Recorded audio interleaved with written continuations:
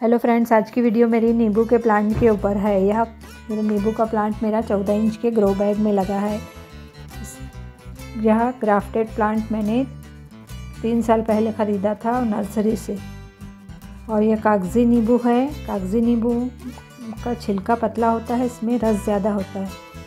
तो ये साल में दो बार फल देता है। अभी भी कुछ फल लगे हैं इसमें और फल मैंने हार्वेस्ट कर ली हूँ। कम से कम 25-30 नींबू तो मैं हार्वेस्ट कर रही हूँ। पहले साल में आठ दस नींबू आए थे, उसके बाद से अच्छे नींबू फल रहे हैं।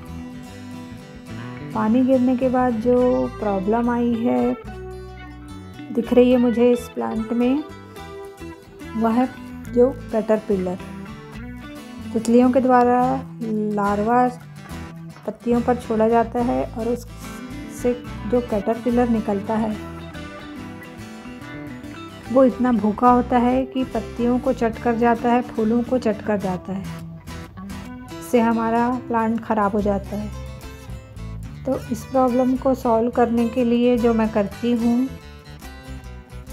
वो मैं आप लोगों को बताती हूँ। तो आप भी इसको करें। नींबू के अलावा भी दूसरे प्लांट में भी ये प्रॉब्लम आती है।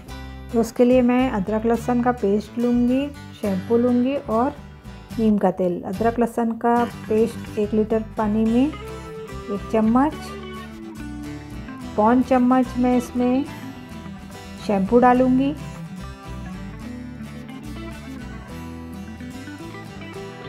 और एक ढक्कन नीम का तेल। नींबू के अलावा भी दूसरे प्लांट्स में भी कैटरपिलर अगर हो तो इस, ये आप यूज़ कर सकते हैं। इसको अच्छी तरह से घोलने के बाद हम स्प्रेयर में भर लेंगे।